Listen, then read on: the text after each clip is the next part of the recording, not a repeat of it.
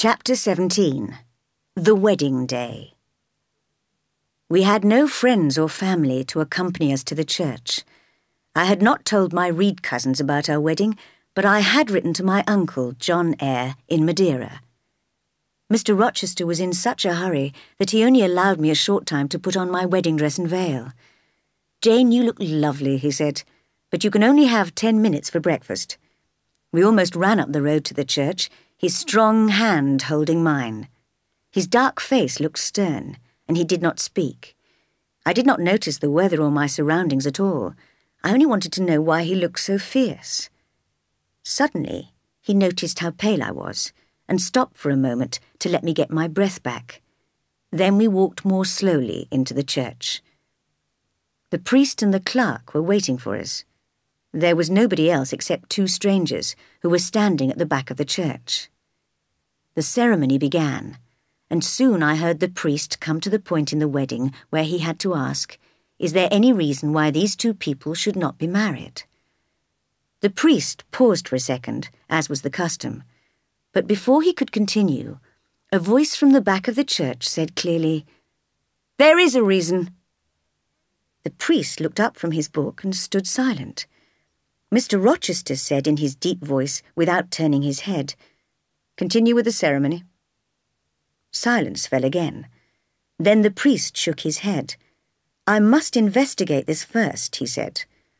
One of the strangers from the back of the church came forward and said calmly and quietly, This wedding cannot continue because Mr. Rochester is already married.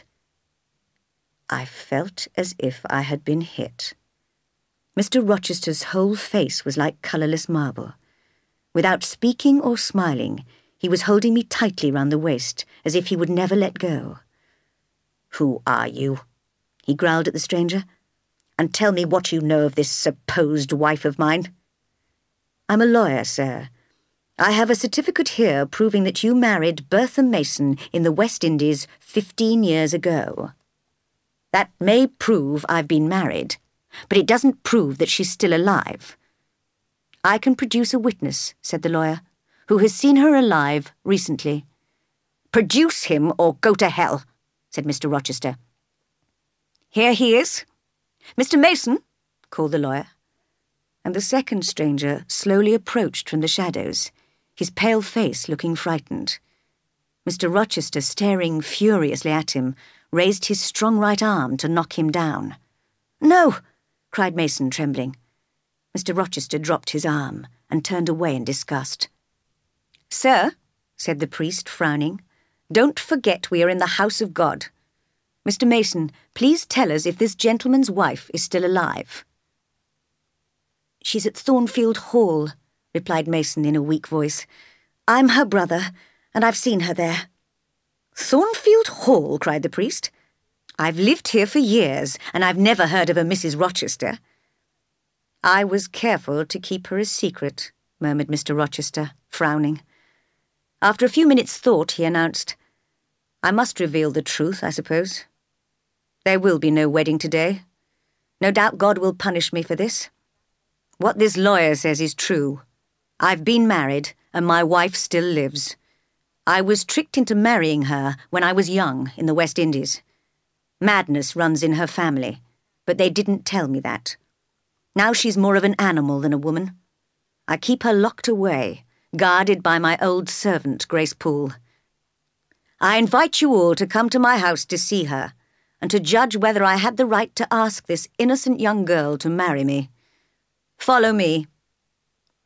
Still holding me firmly, he left the church, followed by the others. At the door of Thornfield Hall, Mrs. Fairfax, Adele, and the servants rushed forward, smiling, to congratulate us. Too late, cried the master, waving them away. Your congratulations are fifteen years too late. We all went up to the top floor and entered the room where Mason had been attacked.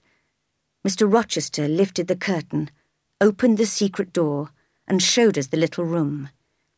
Grace Poole was making soup over a fire and behind her, a shape crawled on the floor. It was hard to say whether it was animal or human. It growled like a wild animal, but it wore clothes, and had long, thick, dark hair. How are you, Mrs. Poole? asked the master. And how is your patient today? Not bad, sir, answered Grace. But be careful. She'll try and bite you if she sees you, sir.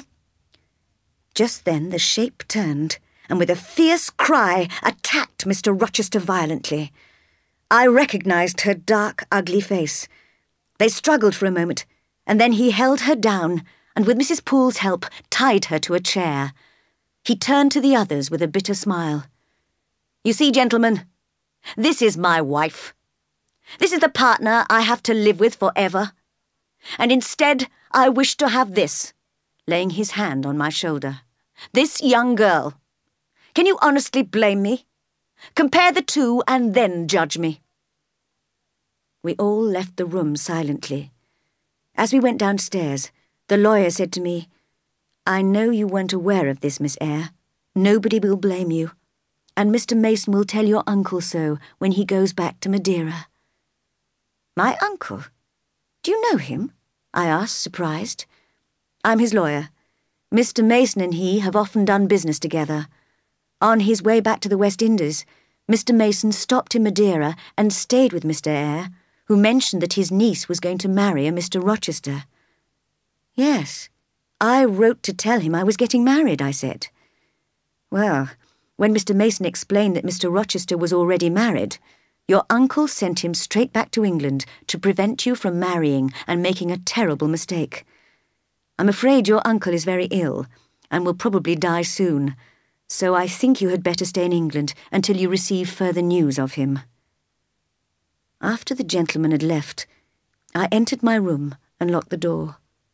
Slowly I took off my wedding dress and veil. I was weak and exhausted, and only just beginning to realize what had happened. Could I ever again trust the being I had turned into a sort of god? I would not think of him as evil, but he could not have felt real love for me. How foolish I had been to believe him and love him so much. My hopes were all dead, and my future was empty. I lay on my bed, faint and wishing for death, while darkness swam around me.